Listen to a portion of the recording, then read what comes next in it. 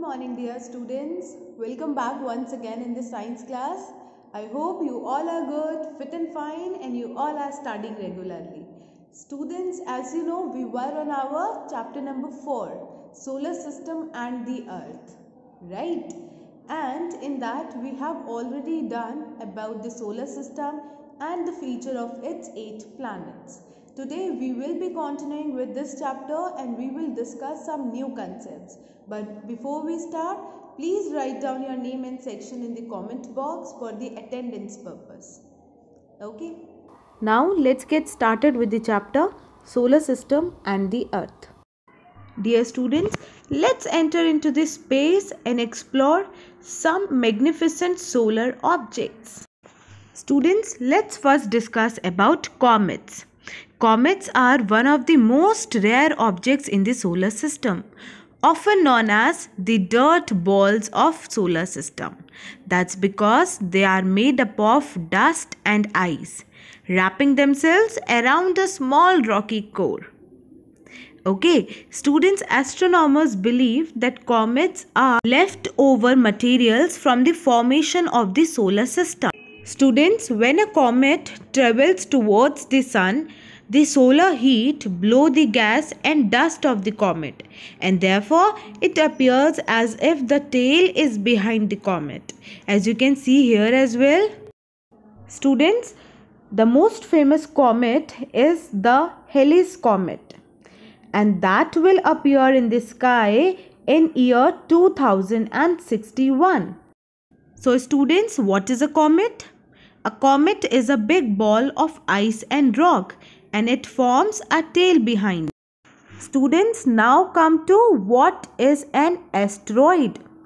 Students you must have heard about an object that hit the earth's surface and after hitting the earth's surface it made all the dinosaurs disappear from the earth. Right? Now what it is? What exactly an asteroid is? Well, according to the scientists, an asteroid is a large rock in the outer space. Asteroids are thought to be the leftover material from the formation of the solar system. Students, they are also known as planetoids or minor planets.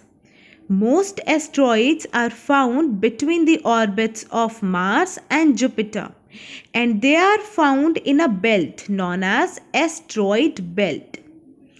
There are thousands of asteroids in our solar system and they vary in their shape and their sizes.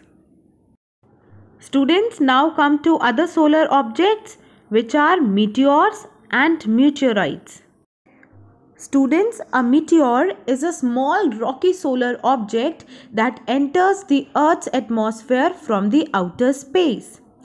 And when it finally lands or touches the Earth's surface, we call it a meteoroid. Okay. And students, when meteors travel, they form a bright streak of light in the sky. And that is why we call them shooting stars. Students, you will be amazed by knowing that about 25 million meteors try to enter the Earth's atmosphere every day, but most of them burn up and create 1 million kilograms of dust over the Earth's surface. And those meteors that manages to land on the Earth's surface are known as meteoroids. And students, when these meteoroids hit the Earth's surface, they form big craters or big holes. Let's quickly recap about comets, asteroids and meteors. Students, comets are the big ball of ice and rock and comets form a tail. Come to asteroids. Asteroids are the large rock in the outer space and they also known as planetoids and minor planets as they are the remains of planets only and third they found between the orbits of Mars and Jupiter. Right? Now come to third, meteors. Meteors are the small rocky object that enters Earth atmosphere. Meteors are also known as shooting stars. because they streak a bright light. And third, meteors that land on Earth's surface are called meteoroids. And students, when meteoroids hit the Earth's surface, they form big craters. Students, now it's the time to discuss about the beautiful and mysterious moon. You all know moon is the natural satellite of our planet Earth. Students, Jupiter and Saturn have more than 60 moons each and planet Neptune has 14 moons. Even Mars have 2 moons. But the Earth, our planet, only has one moon, our nearest neighbor in the space. Even though the moon is close to us when compared to other planets, it is still very very far away. The moon is about 239,000 miles or 384,000 kilometer away from us. Students, moon is much smaller than the earth. And because it is so much smaller than the earth, the moon's gravity is much weaker.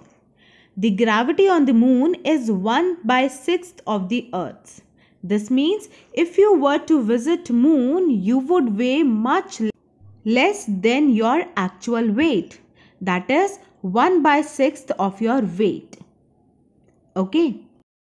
Students, you all know that moon is the brightest object in the night sky, but moon does not have any light of its own. Instead, the light of the moon is reflected light from the sun. Okay, and students, because the moon orbits the earth, that means moon revolve around the earth, then sometime the sun lights up different parts of the moon. This make the moon appears to change its shape from one night to the next.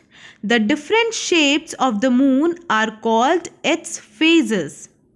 It takes about 27 days to complete one orbit. Students, I hope this much is clear to everyone. Now we will meet in next class. Till then, keep learning. Bye.